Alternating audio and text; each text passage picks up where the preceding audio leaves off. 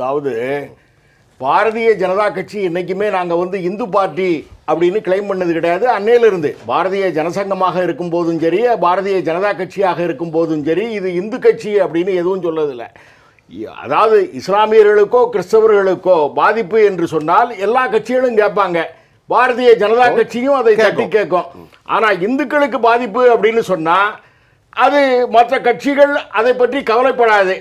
இடதுசாரிகளை பொறுத்தளவில் அவங்களுக்கு சீனாவில் ஏதாவது ஒரு பாதிப்பு ரஷ்யாவில் ஏதாவது ஒரு பாதிப்பு அப்படின்னு சொன்னால் பொங்கி உலக தொழிலாளர்களே இப்போ, ஒன்றுபடுங்கள் அப்படின்னு சொல்லுவாங்க. உள்ளூரில் ஏதாவது லாக்கம் பண்ணணும் தமிழ்நாட்டில் அப்படின்னு சொன்னால் வாயை மூடிக்கொண்டே இருப்பார்கள். அது உள்ளூர் பிரச்சனை லாக்கப் மரணமோ அல்லது மற்ற பிரச்சனைகளோ சட்டம் ஒழுங்கு பிரச்சனைகளோ இங்கே கஞ்சா கடத்தினாலும் சரி இடதுசாரிகளை வாங்க இங்க உள்ள வந்துருவோம், இடதுசாரிகளை அண்ணன், மூடணுங்க. அந்த மாதிரி அதானியின் மூலம் தான் கஞ்சா பயிரிடப்படுகிறது. அந்த அதானி தான் பண்றாரு. அதுக்கு- சொன்னா, வேற எங்கேயாவது வேற எங்கேயாவது பிரதமர். ஆமா, தோழர். சீனா- அதை சீ- சீனாவை சொல்லுங்க. பத்தி சொன்னா இடதுசாரிகளுக்கு அப்படியே சரி,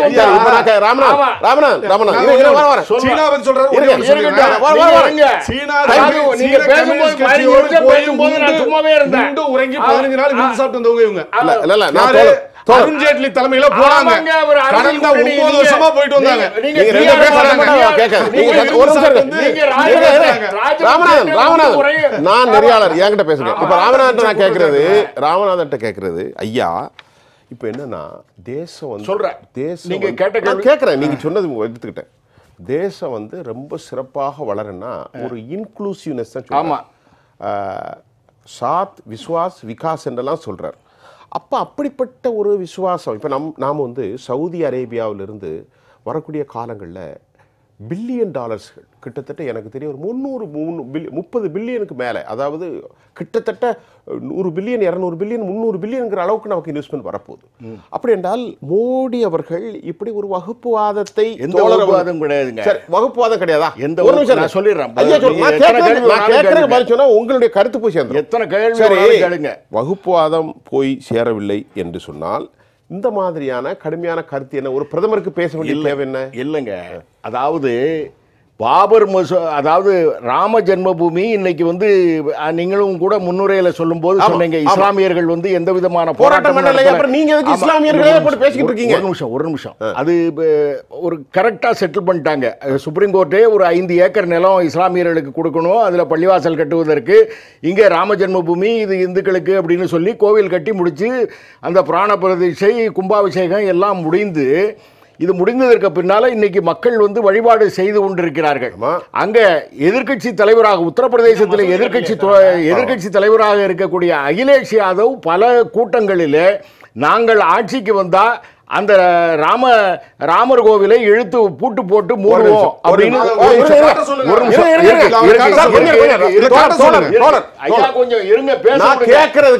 நீங்க பேச முடியாது. எந்த கூட்டத்துல என்னைக்கு பேசினார்? எடுத்துக்காட்ட சொல்லுங்க. காட்டுங்க. அவங்க வாட்ஸ்அப் எந்த வரல. ஒரு நிமிஷம், ஐயா. அத வந்து அந்த மாதிரி பேசுனதுனால எப்ப பேசினாரு, வந்திருக்கு? பல கூட்டங்கள்ல அந்த மாதிரி பேசிருக்காங்க ஒரு நியூஸ் பல- கூட்டங்கள்?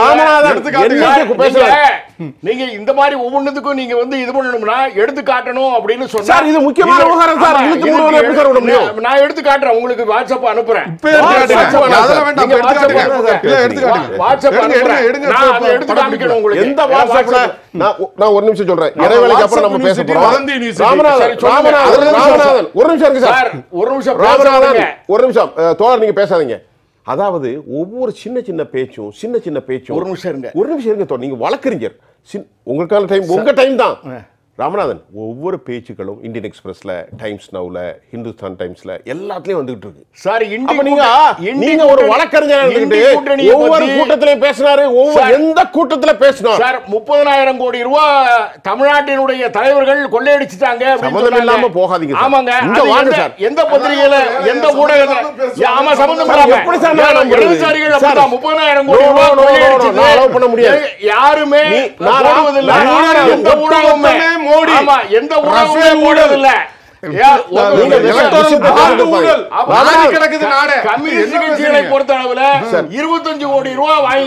பண்ணுவாங்க. யோகி ஆதித்யநாத் அங்கே வந்து இங்கே தமிழ்நாட்டினுடைய நாட்டுக்கோட்டை செட்டியார்களுக்கு ஒரு இடம் இருந்தது. பல்லாண்டு காலமாக முலாயம் சிங் யாதவ் காலத்தில் காங்கிரஸ் காலத்துலலாம் அதை ஆக்கிரமிப்பாளர்கள் ஆக்கிரமித்து கொண்டிருந்தார்கள் அப்படின்னு சொன்னால் அதெல்லாம் நடவடிக்கையே எடுக்கலை. உடனடியாக யோகி ஆதித்யநாத்கிட்ட போய் ஒரு கம்ப்ளைண்ட் கொடுக்குறாங்க. ஒரு நாற்பத்தெட்டு மணி நேரத்துக்குள்ளே அதில் வந்து ஆவணங்கள் எல்லாம் சரி பார்க்குறாங்க. உடனடியாக அவர்களுக்கு அந்த இடம் மீட்டு கொடுக்கப்படுகிறது. நாட்டுக்கோட்டை செட்டியார்கள்லாம் தமிழ்நாட்டில இருந்து போய் அவருக்கு நன்றி தெரிவிக்கிறாங்க.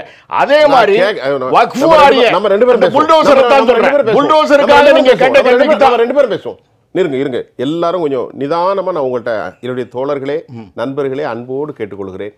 பெரும்பான்மையான மக்கள் பார்க்கிற வாதத்தை சிறந்த முறையில் கொண்டு போனால் சத்தம் போட. போகணும் ஆனால் உங்களுக்கான நேரத்தை தருவேன். நான் எடுத்துகிட்டு போகிறதில்ல இப்போ நான் என்ன சொல்கிறேன் புல்டோசரை பற்றி மரியாதைக்குரிய பிரதமர் அவர்கள் பேசுகிறாங்க அவங்க வந்தால் புல்டோசரை விட்டு பகவான் ராமன் பலராமரை கொண்டு போயிடும் கொஞ்சம் ஒரு நிமிஷம் எந்த சட்டத்துல புல்டோசர் வச்சு இடிக்க சொல்லி ஒரு நிமிஷம் சொல்ல. அதான் இதையும் கேளுங்க. நீங்களே நீங்க நான் கேட்கிறேன். சட்டத்துல இருக்குது? நான் சொல்றேன் சார். ஆர்டரா அது? அது எந்த அடிப்படையில அவர் சொன்னாருன்னு கேட்டா பதில் இல்ல நீங்க வந்து செட்டியார். மடத்தை பத்தி பேசுறீங்க ஏங்க, தேவையில்லாம வேலை எங்க பேசாதீங்க புல்டோசரை வச்சு புல்டோசரை வச்சு எப்ப பேசினாருன்னு சொல்லுங்க யாரு அகிலேஷ் யாதவ் உங்களுக்கு எப்ப ஆ?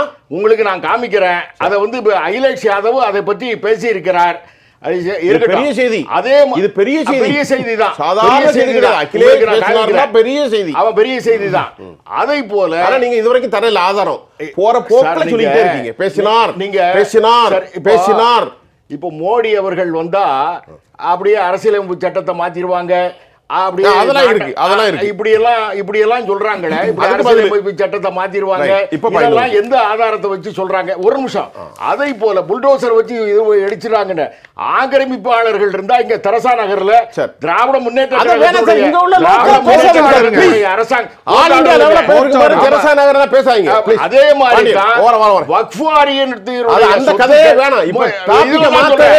உத்தரப்பிரதேசத்துல தான் சொல்றேன். வக்ஃபு வாரியத்தினுடைய சொத்துக்கள் எல்லாம் இஸ்லாமியர்களே ஆக்கிரமித்து வைத்திருந்தார்கள் அதையெல்லாம் போய் அந்த வக்ஃபு வாரியத்தினுடைய நிர்வாகிகள் போய். சொல்லும் போது. அந்த ஆக்கிரமிப்பை எல்லாம்.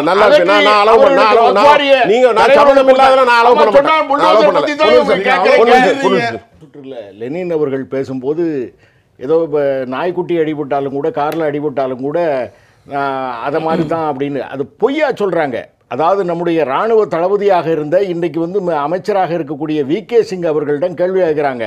கலவரத்தால் இஸ்லாமியர்கள் பாதிக்கப்படுறாங்களே அப்படின்னு கேட்கும்போது ஒரு என்னுடைய காரில் ஒரு நாய்க்குட்டி அடிபட்டாலும் கூட நான் வருத்தப்படுவேன் அந்த மாதிரி கலவரத்தில் யார் பாதிக்கப்பட்டாலும் நான் வருத்தப்படுவேன் அப்படின்னு சொன்னதை பொய்யாக இந்த இண்டி கூட்டணிக்காரர்கள் குறிப்பாக இடதுசாரிகள் இந்த மாதிரி பொய்யா பரப்புரை மோடி? கொண்டிருக்கிறார். மோடி சொல்லல வி மோடி கே சொன்னதை காட்டினா என்ன செய்வீங்க? மோடி சொல்லல மோடி சொன்ன statement எடுத்து சொல்லுங்க காட்டுங்க. காட்டுங்க. நீங்க சொல்லுங்க காட்டுங்க காட்டுங்க? காட்டலாம். காட்டுங்க. காட்டுங்க இப்ப ஆதாரம். ஆதாரம் சொல்லு ஆதாரம் சொல்லு அப்படின்னு சொன்னீங்க மோடி அவர்கள் இது வி கே சிங் சொன்னதுங்க ஆமா மோடி பேசல அவர் சொல்றாருல அப்ப அவர் கா- காட்ட முடியுமா உங்களால காட்ட சொல்லுங்க. மோடி பேசுனது காட்ட முடியுமா சொல்லுங்க.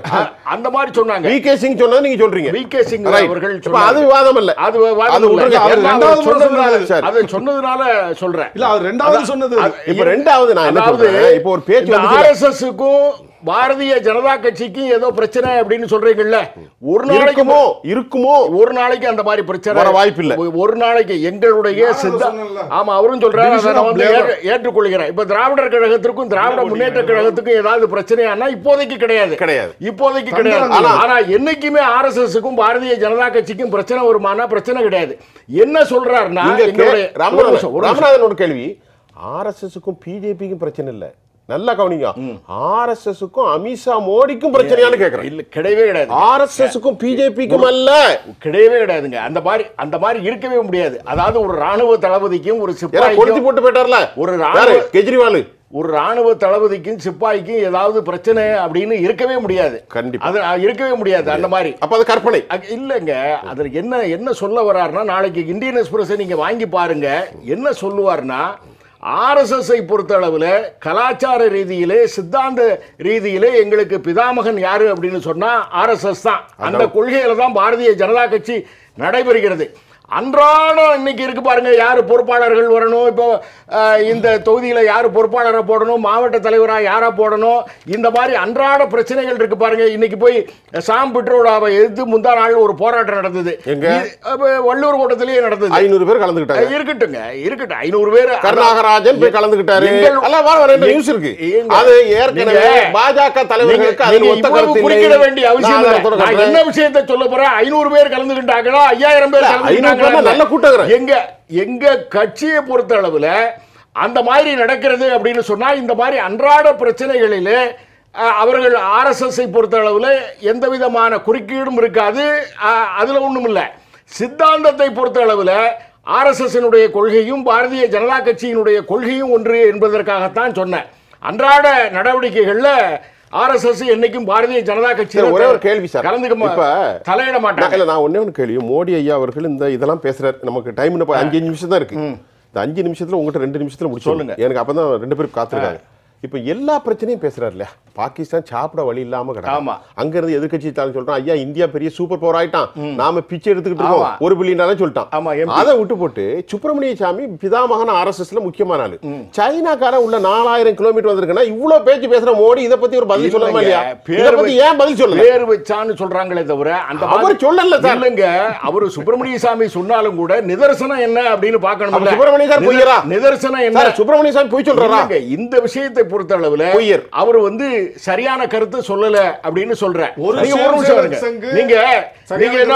அப்ப என்ன இடதுசாரிகள் என்ன சொல்றாங்க அவங்க ஆக்கிரமிப்பு பண்ணிட்டாங்கன்னு சொல்றாங்களா என்ன சொல்றாங்க அவங்க தேவையில்ல. எந்த.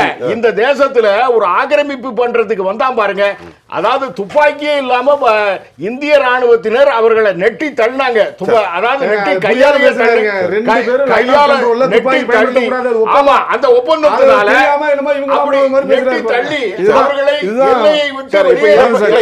நீங்க அதுல அதாவது நான் கேட்டதுக்கு பழைய விஷயம் பேச வேணாம் மோ- அப்படிதான். மோடி ஐயா அவர்கள் சுப்பிரமணிய சாமி இன்னைக்கு காலைல சொல்லியிருக்காரு இப்போ இன்னைக்கு சொல்லியிருக்காரு ஏன் நாலாயிரம் கிலோமீட்டர் பத்தி பேச மாட்டேங்கான்னு கேட்கிறேன் இல்லங்க ஐயா கிலோமீட்டர் கேட்கிறேன், ஐயா, உங்கள்ட்ட-.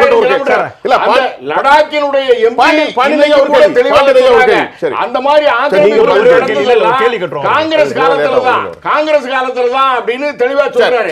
பொருளாதாரத்தை பத்தி நம்ம வந்து சரி. மோடி அவர்களும் சரி சரி. எங்களை போன்றவர்களும் சரி நாங்க தொடர்ந்து பேசிக்கொண்டு தான் இருக்கிறோம் சரி. ஏதோ இதற்கு முன்னால பத்தாவது இடத்துல இருந்து ஆட்டோமேட்டிக்காவே முன்னேறி வந்துரும் ஏன் ஆட்டோமேட்டிக்கா பாகிஸ்தான் வரல பங்களாதேஷ் அதாவது அவர்கள் பணத்தின் அடிப்படையில சொன்னாரு. ஆட்டோமேட்டிக்கா முன்னேறாது ஆட்டோமேட்டிக்கா முன்னேறாது. இந்த 77 வருஷத்துல நீங்க ஒரு ஒரு the நிமிஷம் சார். corporates. 77 அதுதான் வருஷத்துல மொத்தம் பத்து வருஷம் பிஜேபியோட ஆட்சியில மூணு வருஷம் பேண்டமிக் ஆயிட்டு இருபது இருபத்தொன்னு இருபத்தி இருந்தும் அப்ப நீங்க என்ன சொல்றீங்க?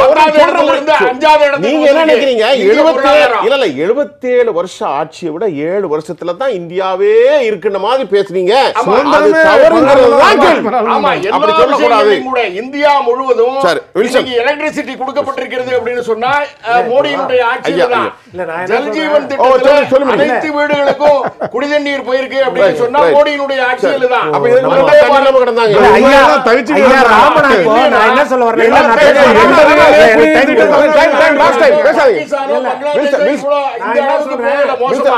இன்னைக்கு மோசமா